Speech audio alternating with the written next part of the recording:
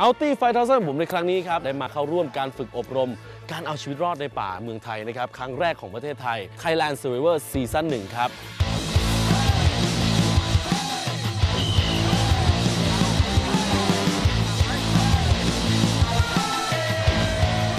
โอเค โอเค